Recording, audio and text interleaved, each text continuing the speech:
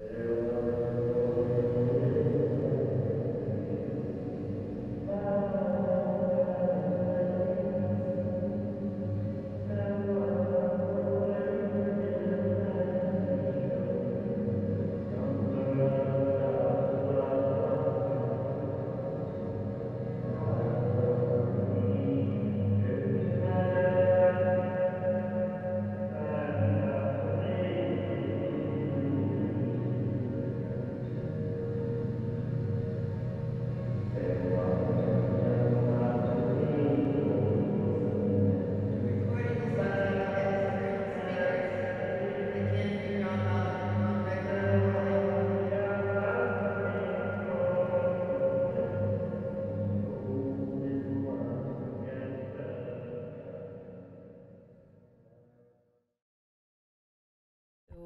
Raph's life started really in Quebec, right? And if we didn't come out of there, he would have never been a surfer, he would have been a, a farmer.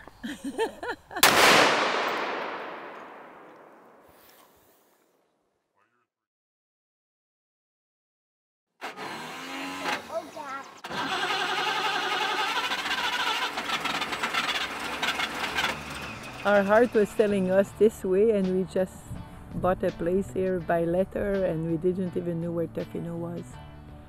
We just knew it was the right place to come, and we just bought it by letter, and we came to Mackenzie Beach in the trailer park. And so they were raised like on the beach. Every day we were on that beach. We lived on that beach. They walk on that beach, they swam. It's like it became like such a part of their lives. Those guys, they live in a paradise. Ah, the best place any kid could wish for. It's so beautiful.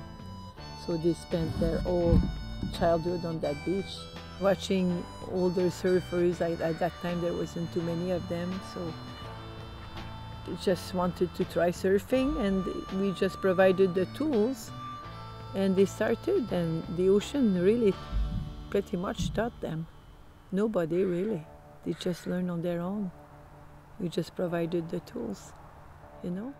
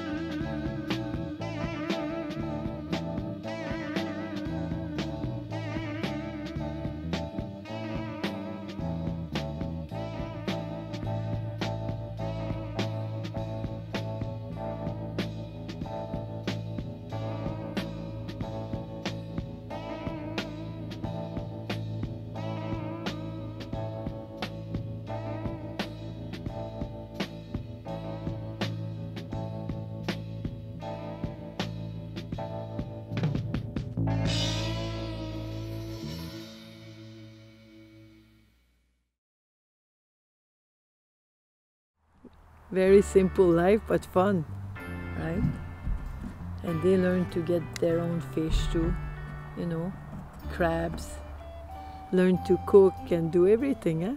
in a very like uh, very primitive way in a sense you know Fire is all the time outside, and it's so important not to lose this.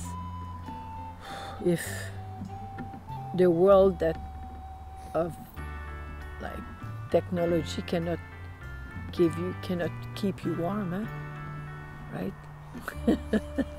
but if you learn how to make a fire, you're pretty much better off.